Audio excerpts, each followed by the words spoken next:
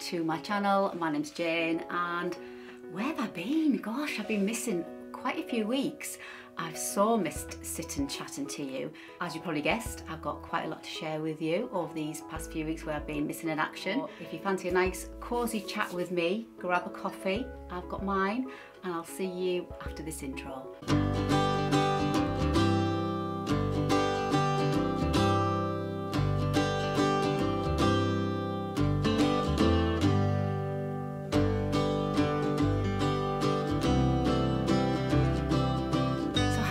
Welcome back. Oh, coffee.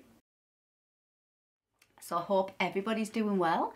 I'm absolutely fine. I have had a busy few weeks. haven't been able to sit behind this camera because of a few things that's been going on, which I'm going to share with you in this vlog. But I do hope everybody has been keeping okay and not long till the festive season. So, where have I been? Well, a few weeks ago John wasn't very well. He was off colour like for a few days and he just just wasn't himself. And he was like he is tired quite a lot anyway but he was more more so tired and he wasn't very responsive. He wasn't really responding to anything I was saying. He was just really vacant and sometimes he was confused and he was like going to the toilet like weeing um, quite a lot. And I was thinking this reminds me of when he went in hospital last year with pneumonia, very similar, confusion, weeing a lot, and apparently that's a sign of an infection going on.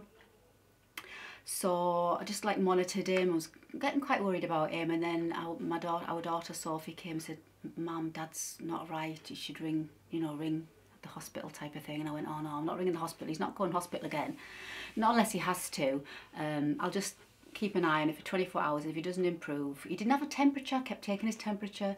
He didn't have a temperature or anything like that. So I thought, well, I'll keep my eye on him 24 hours and if he doesn't improve the next day, which would have been the Sunday, I will ring like 111, which is our, not quite 999, our emergency number is 999 here in the UK. And we have 111, which is like the next stage down and people on the phone like guide you what you need to do type of thing. So I thought, well, I'll, I'll leave it 24 hours. So then uh, my when our, one of our sons came a few hours later and he said, oh Tom, he said, Mum, Dad's, Dad's not right. We had to both help him get to the loo.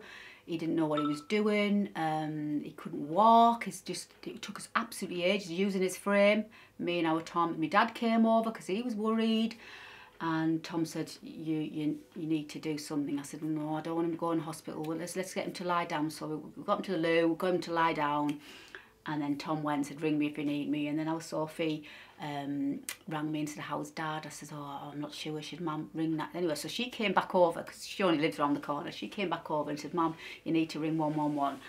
So I thought, okay, yeah, he's not getting any better. So I rang 111 and 40 minute wait in a queue before you got through to anybody. And our Sophie said, mum, hang up, dial 999. I said, I'm not dialing 999. It's not like an emergency. The bit, you know, the emergency services are busy enough. And Sophie said, Mum, ring 999.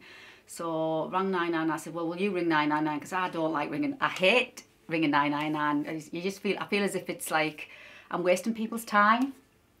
Anyway, so she rang 999. As soon as she said the dad confused, weeing a lot, um, not himself, they immediately sent the ambulance and literally the ambulance was here within five minutes and they came in, took all his, you know, all his, um, you know, vital signs, whatever they call it, you know, the um, blood pressure, oxygen, and all that, and temperature. And they just said, yeah, he's definitely got a bit of a temperature and it looks like sepsis.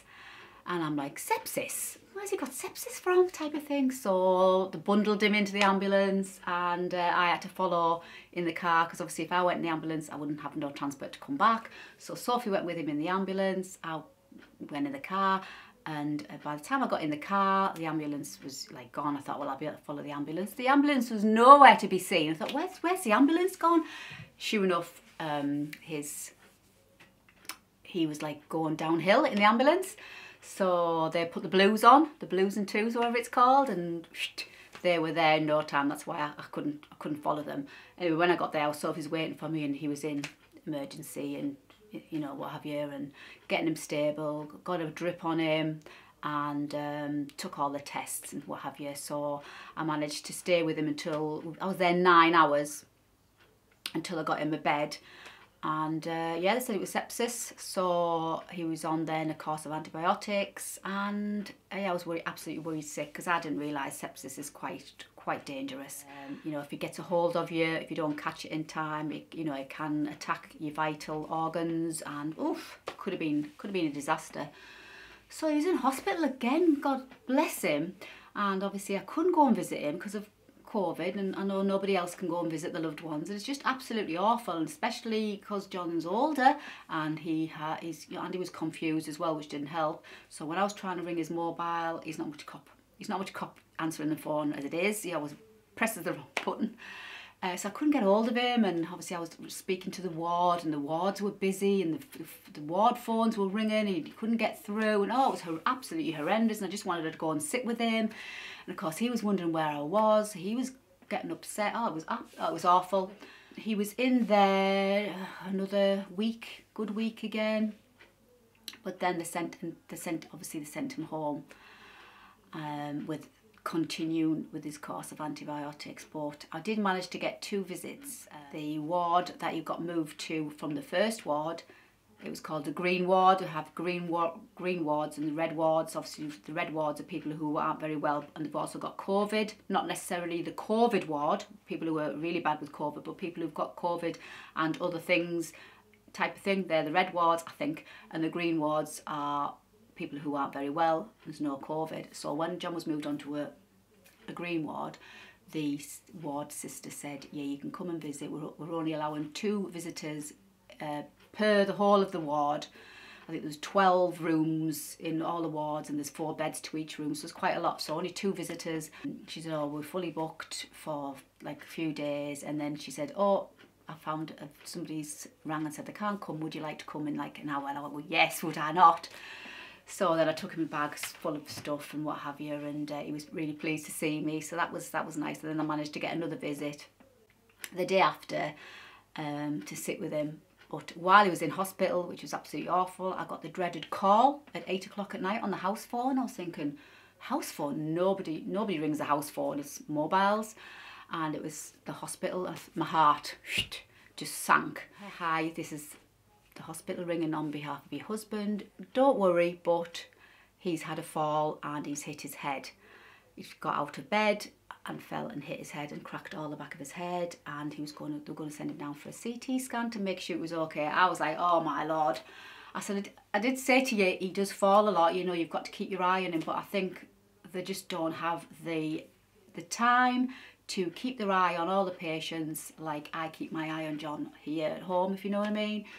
So that was a bit of a worry anyway, came back, it was fine. When he did come home, he was absolutely covered in bruises, he's obviously had a few knocks getting up and out of bed and maybe struggling to go to the bathroom and what have He was a massive one here, um, like one there, and then he had like a mark on his head, and then he had the mark there where he'd hit and fell his head. So he was, I said, what have you done all these on, John?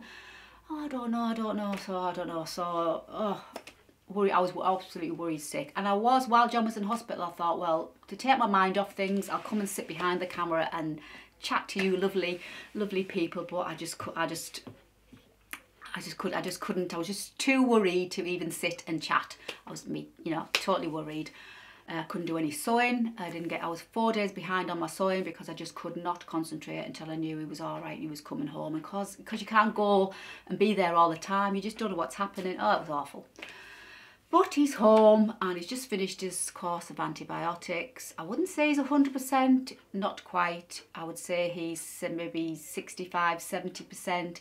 But then again, he obviously he's not the best of health as well because he's got, you know, those of you that follow me, you know, he's also got bowel cancer and he's also been uh, diagnosed with mixed dementia. Yeah, so he's not going to be 100% anyway, uh, and his walking is pants. Now I say to him walking absolute pants his little legs just will not carry him. So wherever he goes I'm like up where you going? What you doing? What do you want? I'll get it for you type of thing because I'm absolutely panicking that he's going to fall over and hurt himself again. So that's that's the situation with John. But thank you for all your gorgeous comments and concerns over on my Instagram when I posted about him being in hospital. And uh, yeah, so he's home, safe and sound, where he belongs with me. But anyway, so all is good in our house again. And he's home and he's sat reading the paper and he's got a cup of coffee and a couple of cakes. So he's quite happy. So that was that. And then my hair, you noticed my hair's all chopped. Uh, yeah, I actually went for it, took the plunge and got my hair cut. And if you remember, it was really, really long. So it's now just a lovely length, long enough length I can still put it up. This is my first attempt at curling it. So it's not brilliant. I've got my curling ones out, burnt my fingers a few times because it's trying to do it in the mirror. For those of you who curl your hair, it just you can't. It's you like you like this, so it's best to not look in the mirror and curl it. But then obviously you're not looking in the mirror and you curl it, you burn your fingers. So I've burnt my fingers a few times, but I will get the hang of it. But it was a bit of a debacle going and get my hair done. So when I went for the first first cut and colour, I wanted uh, like my my natural colour, mousy brown, but maybe with just a little bit of a lift and a bit of a zhuzh and maybe some caramel tones putting in. Yeah, got it cut, lovely, but it, I came out almost burgundy red and I would just came home and looked in the mirror and I thought, I didn't really click when I was in the hair salon. I was so the fact that I, was, I had all this hair chopped off, quite a lot of hair chopped off, and you know, it was shorter and it was curled, and it was lovely because it did it lovely. So I didn't really look at the colour. And when I got home, I thought, why is my hair that burgundy? So I rang my daughter Sophie, because that was the salon I went to. I said, Sophie, my hair's red. And she said, oh, it's not. I said, it, it seriously is red. And when I sent her a picture of the sun, I stood in the garden with the sun, I popped some pictures up with the sun shining and catching my hair, you could see how red it looked in the sun. It wasn't that red, but the sun made it look redder, but you can see there's red tones in it. I said, Sophie, I don't, she said, well, I knew that, Mum, but when I was doing the, your hair colour, mixing the colours, we didn't have the exact colour that was on the on the colour chart for what you wanted. So my boss said, mix this one with this one and it'll come to the colour that I wanted. And she I knew when I was mixing it, it's, it's not going to work. Sure enough it didn't work. So this, her boss said don't worry if it's not the colour you want come back in. So I went back in the next day and Sophie put a colour on and took that red out which was a lot better. And then she put me like some caramel tones in but she said oh do you want this like a caramel tone at the front? And I went yeah you know whatever zhuzh it up a bit.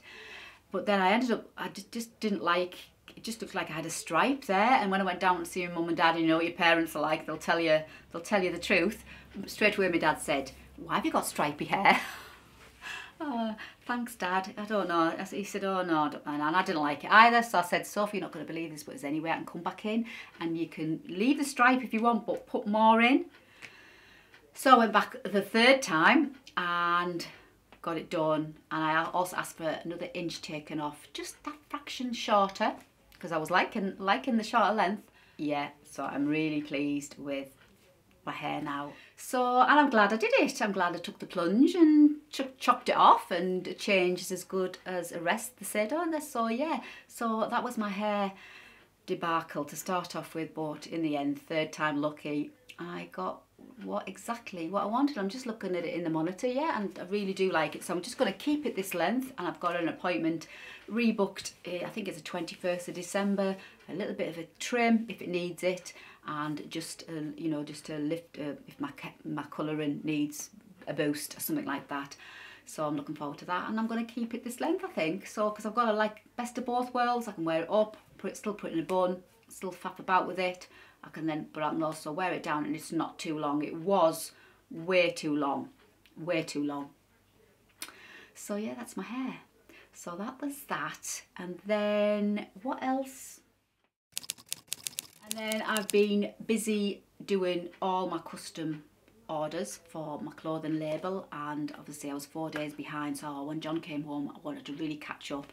So all my orders are done all orders are gone gone to the post office. I worked non-stop to get them all out. So if you still wanted to order um, the shop's still open but nothing will be made for in time for Christmas now. I'm gonna like take the month of December off still I'll still make things but obviously they won't be coming out until the new year. So I'm going to slow down a bit take a little bit of take a little bit of a breath catch my breath start again in the new year. I need, I need to slow down a bit because I, I, feel a little bit like non-stop which is me. 50 mile an hour Jayne you know if you follow me you know I do everything 50 mile an hour don't sit still.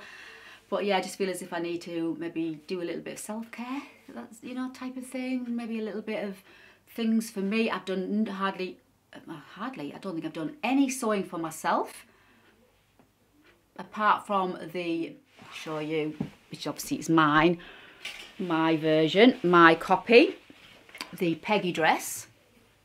So yeah, I made that, but obviously I had to make one to take photographs for the shop. And obviously this is mine. So that's the only thing I've made for myself in probably about a month. And I'm starting to get I'm starting to get withdrawal symptoms. So I have got, so I've got a few things planned for some sewing for myself, some proper selfish sewing for myself, some winter outfit sewing plans. So that's going to be on my next vlog. I've got some lovely fabrics. I've got some nice patterns I've got in mind, some nice ideas. So that will be coming next. So I can't wait to get a little bit of me sewing and also some more sewing, but some upcycle, recycle type of sewing project coming up. It's a kind of a saw the look, which I've seen something on Pinterest, absolutely loved it. And you know, at the moment we're all, uh, it's a big thing, recycle, upcycle, you know, reinvent things that you've already got in your wardrobe. It's a kind of type of thing like that. I won't reveal too much, uh, but that's coming. So I'm just looking at the pile, shall we say, there. So I can't wait to show you that. And then what am I wearing? Oh yes, what I'm wearing. So if you remember a few vlogs back, I had that lovely um, thrifted charity shop haul that I managed to get all those gorgeous jumpers. This is one of them. I got four, four of these and um, that gorgeous jacket. I'll pop the card up for it as well. And this as well, if you remember, which they've all been, what I mean, they're the, honestly was some of the best charity shop finds that I've found for a long time because I've worn all of them. This one I've worn and worn and worn and worn. Absolutely love it. It washes. John just called me there so I had to go and see what he wanted. Um, yeah, so this has washed like an absolute dream. Seriously, it hasn't gone bobbly or bitty. Hasn't lost its shape. It's just, I don't even know what wool this is, but it's gorgeous sweater. Let me see what Hmm, there's no labels, so I don't know. I don't even know where this jumper's from. There's no labels. Oh, yes, there is. Let's see. Let's just see. I think it's Marks. Oh, it's not. It's our old old shop that's closed down in the UK. It's British Home Stores. And it's 100% acrylic. Acrylic well I'll be. So what I was going to get onto was, love these jumpers, but the only thing I don't like about these jumpers, and this could be the reason why the lady who gave them to the thrift store, the reason was, the if I roll, I mean I've got this I've got it rolled down but if you roll the neck I don't like I don't like that on me that neck shape.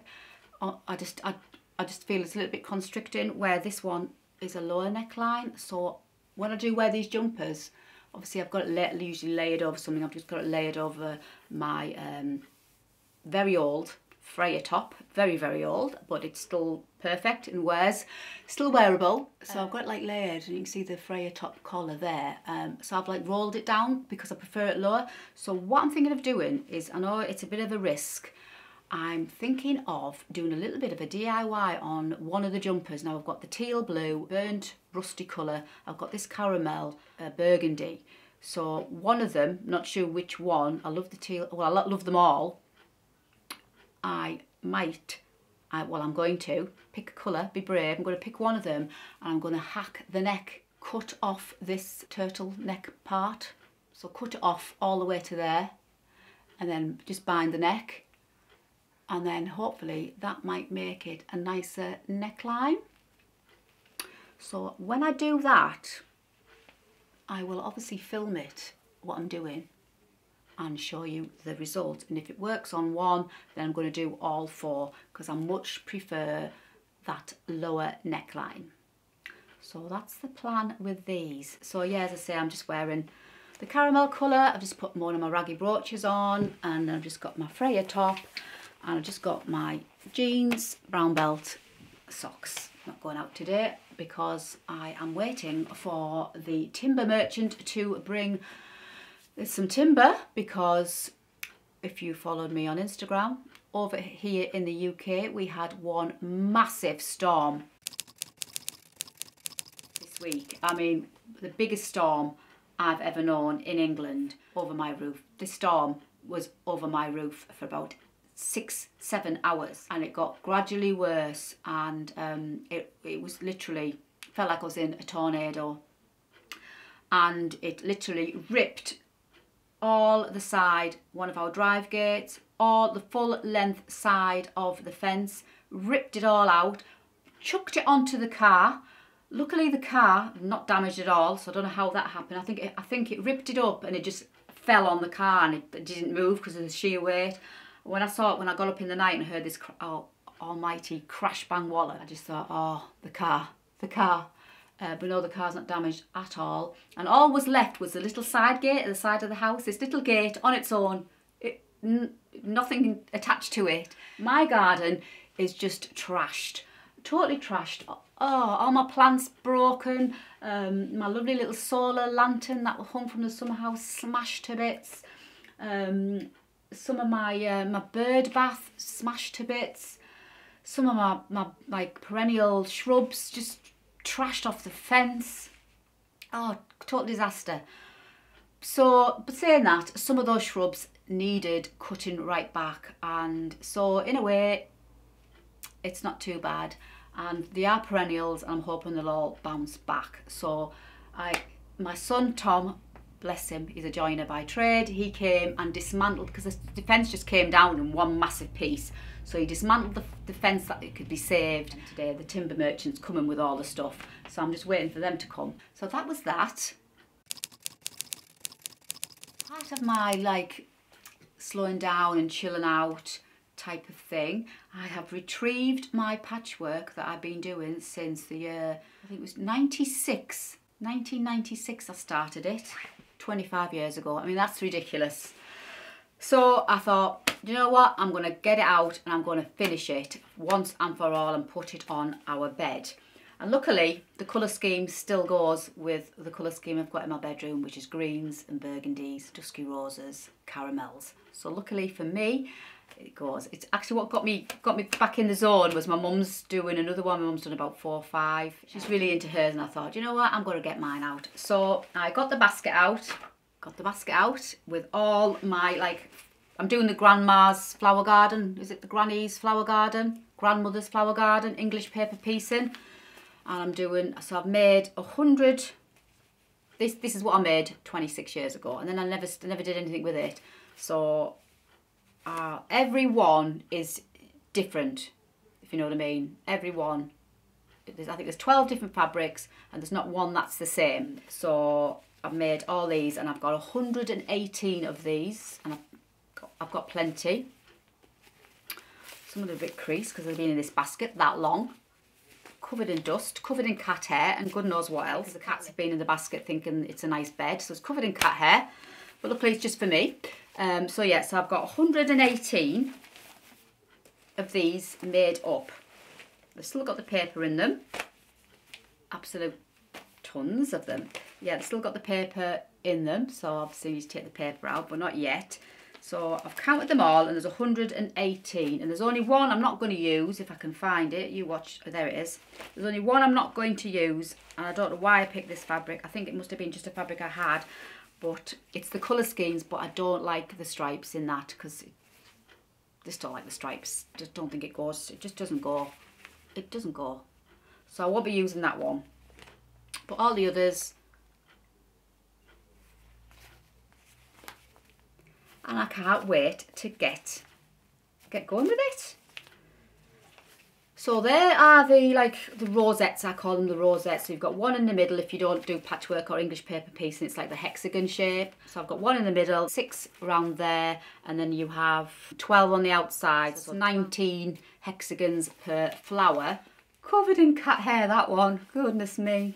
Um, yeah, so I can't wait. You can just join them all together and just have a random but I'm going to have it like an interlink and I've got this fabric so I've probably got four, five meters in total of me interlink. So I'm going to interlink them all with the hexagon in the plain. So I've just got to cut all them out and sew them all and do that. So I can't wait now so now this is my month and I'm going to treat myself and I'm going to spend some nice quality me time doing things for me this month a kind of like a little self Christmas present to myself. So I'm going to do my patchwork, just some sewing for myself.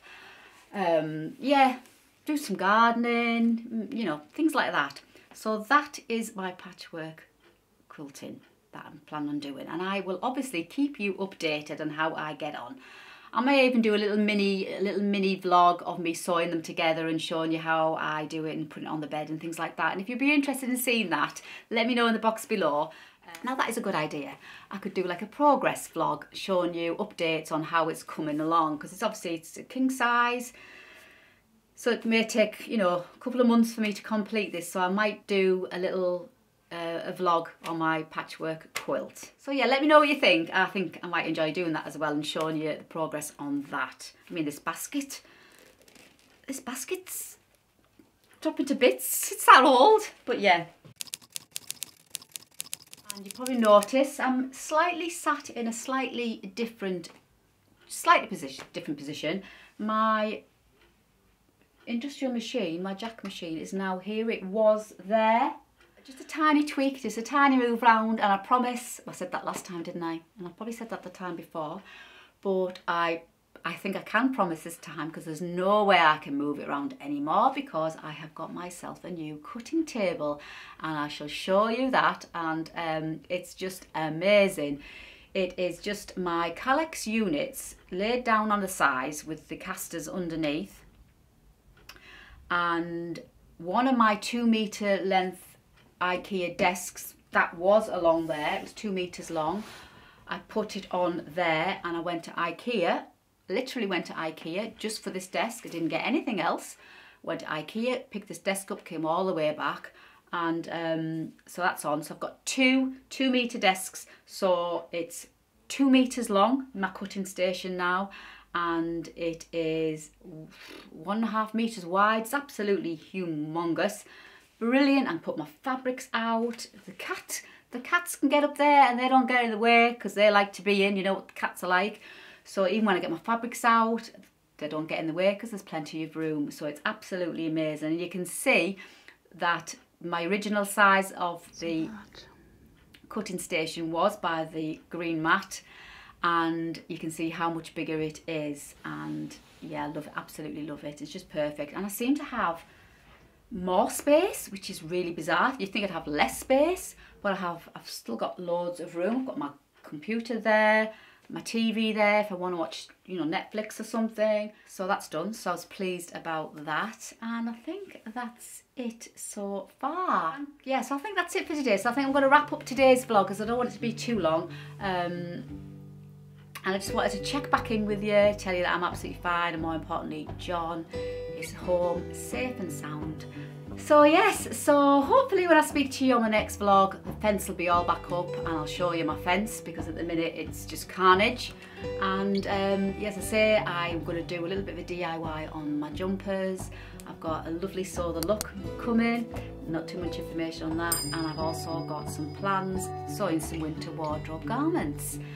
So if you enjoyed today's vlog, please don't forget to give me that lovely thumbs up that you like it because it's apparently good for my channel, helps grow my channel and obviously if you just found me you'd like to subscribe and follow along with me then please hit the subscribe and come on, come on over to Instagram and follow me there because you'll see my daily outfit inspirations of what I cobble together out of my little wardrobe and create different outfits with the clothes that I have made and thrifted. So come over and say hi. But until the next time, thanks for joining me. Hope you drank your coffee. I've got a bit left and I shall see you on my next vlog. Bye for now.